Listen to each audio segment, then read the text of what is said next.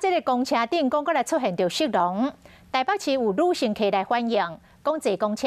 拄到一个男子徛伫个车门边，啊要上落车的女乘客，那经过伊的边啊，伊就故意甲手举互悬去客人查囡仔的胸卡嘛，实在是有够变态。啊，嫌犯告完了后，煞来辩讲，毋是故意的，嘛愿意甲被害人来道歉，也毋过也是互移送法办。警方嘛来呼吁，若是坐公车拄到即种的状况，会当马上甲记发，或者是请司机直接把即个车驶到警察局马上处理。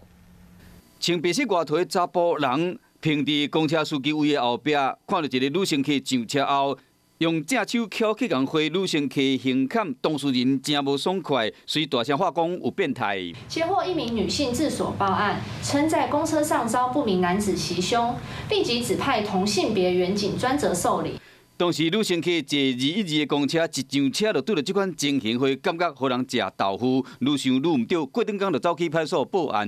警方依照线索找到嫌犯，不过这个姓李的查甫人，伊解释讲是无姓字的这个案件，警方依照性骚扰防治法移送侦办。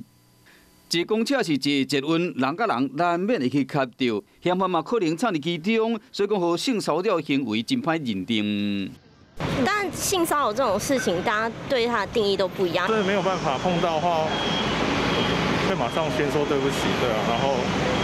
对看看对方的反应会。该有的距离你还是要就是自己去拿捏，自己去保持，因为就是可能你觉得没有什么，但是别人会觉得不舒服。警方嘛呼吁民众对着类似的情形，爱是报警，还是找人来协助，才袂好这款行为愈来愈严重。